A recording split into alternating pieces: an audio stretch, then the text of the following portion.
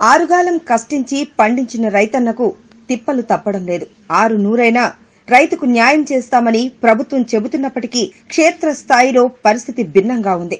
ప్రస్తుత విపత్కర పరిస్థితులలో ప్రభుత్వం గ్రామాల్లోనే ధాన్యం కొనుగోలు సెంటర్లు ఏర్పాటు చేసి కొనుగోలు చేపడుతుండగా ఇదే అదునుగా రైతులను ఇష్టం వచ్చినట్లుగా దోచుకుంటున్నారు. నిబంధనలకు విరుద్ధంగా కొనుగోలు చేస్తూ రైతులను నిలువు దోపిడీ చేస్తున్నారు. దౌల్తాబాద్ మండల వ్యాప్తంగా పంతొమ్మిది ధాన్యం కొనుగోలు కేంద్రాలను ఏర్పాటు చేశారు.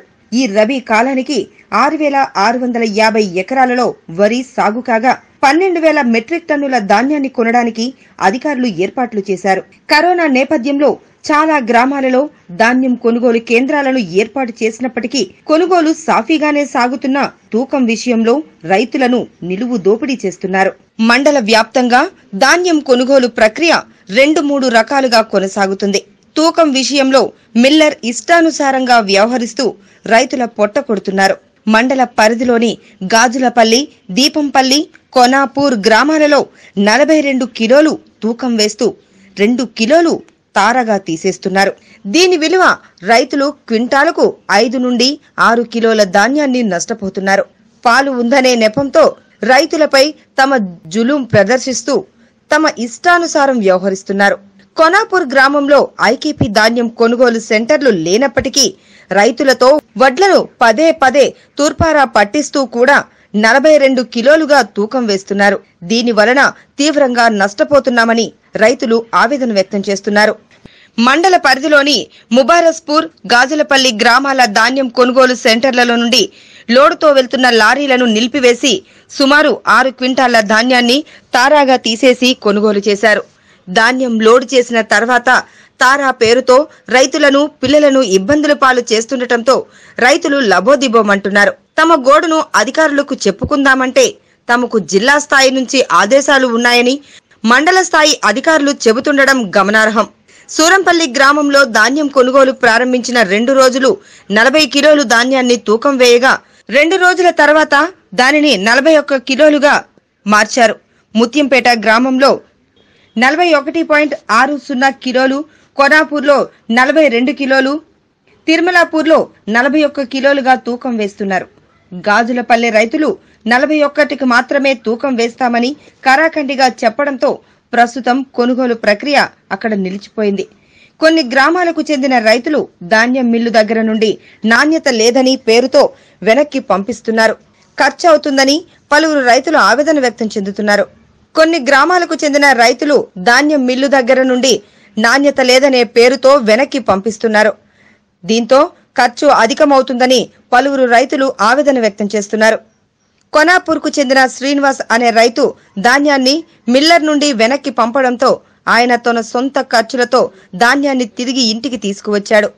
దానికి సుమారు పన్నెండు వేల రూపాయలు ఖర్చయిందని ధాన్యం అమ్మినా అన్ని డబ్బులు రావని శ్రీనివాస్ ఆవేదన వ్యక్తం చేశాడు. మండల వ్యాప్తంగా కొన్ని ధాన్యం కొనుగోలు కేంద్రాలలో ప్యాడీ క్లీనర్లు కొరత ఉండగా రైతులు కష్టపడి వడ్లను తూర్పారా పడుతున్నప్పటికీ మిల్లర్ తాల్ పేరుతో నలభై రెండు కిలోలుగా తూకం వేసి ఉండడంతో రైతులు తీవ్రంగా నష్టపోతున్నారని ఆవేదన వ్యక్తం చేశారు. గంపెడాశలతో పంట పండిస్తే అధికారులు తమ ఆశలను అడియాశలుగా చేస్తూ రైతులను ఇబ్బందులకు గురి చేయొద్దంటూ ప్రభుత్వం పదే పదే చెబుతున్నప్పటికీ అధికారులు కుమ్మక్కై ఇష్టానుసారంగా వ్యవహరించడం వల్ల రైతులు తీవ్రంగా నష్టపోతున్నారని వాపోయారు. ప్రస్తుత వ్యవసాయ విధానంలో యాంత్రీకరణ చోటు చేసుకోవడం మూలంగా పెట్టుబడి ఖర్చులు పెరగడంతో తమకు ఏమీ మిగలడం లేదని రైతులు వాపోతున్నారు. ఇగో ఒక పొల్లు లేకుండా ఎడబెట్టిన ఐదు రోజుల నుంచి తిప్పలు పెడుతురు ఆ సార్లు ఫోన్ చేస్తురు అమల్లో ఏం తప్పలేదు. వాళ్ళు పెడతామంటారు అక్కడికి వెళ్ళి ఫోన్ చేస్తుండు. జల్లు పట్టమంటుండు. జల్లు లేదు. ఇలా పొల్లు కూడా లేదు. డబల్ డబల్ కిరలు అవుతున్నాయి మాకు. ఇగో ఈ- పరిస్థితి మాకు చేస్తుండే ఇగో ఇడికెళ్ళి మేము కుప్పలు కొడుతున్నాం మిషన్- కోస్తుంది కోసుకొస్తున్నాం. ఇగో మాకు ఇంత ఇబ్బంది అవుతుంది. మాకు పెట్టువాళ్ళు మాకు అన్నిటికీ మాకు ఏది లించలేదు. టాటర్ కిరాయి కూడా మేము ఒక ఒక గంటకు పన్నెండు వందలు కట్టిస్తున్నాం.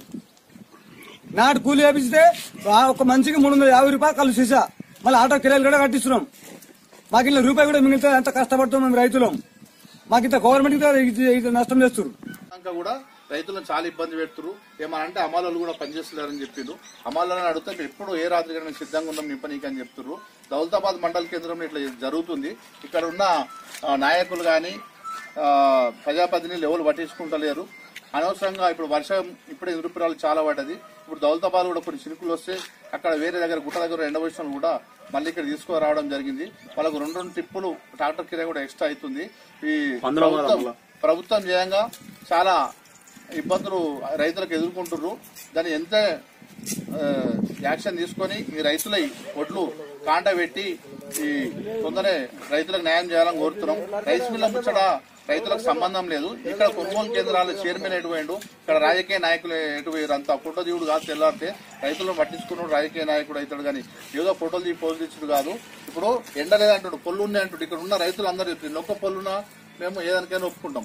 జల్లెడ పట్టమంటాం నిన్న మొన్న జల్లనే లేదు. జల్లెడకు బెల్టే లేదు ఇప్పుడు ఇక్కడ ఆ జల్లెడ ఎట్లా పడతారు? నిన్న మొన్న పోతే ఇవ్వాలి ఎందుకు ఆపుతున్నాడు? తొందరగా తక్షణమే చర్యలు తీసుకోవాలి అధికారు లేని పక్షంలో అందరూ రోడెక్క దానికి సిద్ధం ఉన్నారు దీనిలో భాగంగా పాత మా మండలంలో ఉన్న పాత ఐకేపీ సెంటర్లలో నలభై ఒక్క కేజీలు మాత్రమే కాంట పెట్టుకుంటున్నారు. మా ఊర్లో మాత్రం రెండు కేజీలు ఎక్కువ పెట్టుకుంటారు. ఎందుకోసం అంటే ఫస్ట్ పొల్లు ఉందని చెప్పి తర్వాత మా దగ్గర పొల్లు పోసుకునే మిషన్ కూడా లేకపోవడంతో రైతులు స్వతహాగా వాళ్ళు ధాన్యాన్ని ఎగవస్తున్నప్పటికీ కూడా నలభై రెండు కిలోలు పెట్టుకొని రైతులు తీవ్రంగా ఇబ్బందికి గురి చేస్తున్నారు మిల్లర్లు. ఈ రైతులు మాత్రం అక్కడ తీసుకుపోయి చాలా ఇబ్బందులకు గురి చేసి రిటర్న్ పంపించడం జరిగింది. ఐదు ఆరు వేల లాస్ వచ్చింది.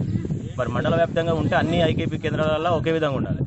కొన్ని ఐకేపీ కేంద్రాలలో నలభై ఒకటి కొన్నిట్లో రెండు పెడతారు ముఖ్యమంత్రి కృతనిశ్చయంతో రైతులను ఆదుకోవాలని చెప్పి ఈ విధంగా చేస్తే మిల్లర్లు మరి మిల్లర్ల తప్పిదమా అధికారుల తప్పిదమా కానీ మొత్తం మీద రైతులైతే నిట్టడం ఉంచుతారు కాబట్టి దీన్ని ప్రభుత్వం కొంచెం చొరవ చూపాలని కోరుకుంటున్నాం. షాపింగ్ తీసుకో షాపింగ్ తీసుకొని ఏమో పోతే దిక్కులు అంటారు ఆడికి లారీకి తెచ్చారు వేసుకపోయారు. వేసుకపోయినాక ఆడ షాంపిల్ తీసుకొని కొట్టిరేమో చూసి వద్దు అన్నారు. వద్దని అట్లనే పెట్టారు. అట్లా పెట్టాక నేను తీసుకొచ్చిన ఆడ లారీ కిరాయి కట్టుకున్నాను ఆడ అమ్మాయిలు కట్టుకున్నాను మళ్ళీ ఈడ అమ్మాయిలు కట్టుకుని మళ్ళీ అది వేసుకొచ్చిన పద్దెనిమిది వందలు కిరాయి తీసుకున్నాను. అది నాది మొత్తం జరిగిన విషయం. నాది మొత్తంలో నన్ను నష్టమే చెప్పాలి ఇప్పుడు ఎవరు తీసుకోమన్నా ఇప్పుడు దాంతో తీసుకుపోయినా తీసుకుపోతలేదు దాన్ని. ఎవరు తీసుకుంటారు అవి ఏం చేసుకోవాలి ఇప్పుడు ఏంటి అందులో కూడా కానరు అంటే మాట్లాడతారు మా సాయి సిఐ అందులో కూడా కానరు. కూడా రాని అని మాట్లాడతారు. ఆయన మాట్లాడి మాట గసడి మాట మాట్లాడి. ఇవి చేయాలండి. పరిస్థితి ఏంది అని చెప్తుంది మన కేసీఆర్ గారు మన పొట్ల కొనుగోలు ధాన్యం మన రైతులను ఆదుకోవాలని చెప్పి ప్రతి ఊరికి ఒక కొనుగోలు కేంద్రం కేటాయించడం జరిగింది. ఈ కొనుగోలు కేంద్రాల్లో ఏమవుతున్నాయంటే రైతులు ఒక ఊళ్ళే ఒక రకంగా కాంట ఊళ్ళే ఒక రకంగా చాలా రైతులు ఇబ్బంది పడాల్సి పడాల్సిన అవసరం. మరి మా కొనపూర్ గ్రామంలో రైతులు ఎగవచ్చిన ఓట్లు కూడా నలభై రెండు గిట్టలు నలభై రెండు వేసి మరి అదైతే చాలా ఇబ్బంది అవుతుంది. మళ్ళా రైస్ మిల్ నుంచి మా ఇద్దరి మరి వచ్చినాయి మరి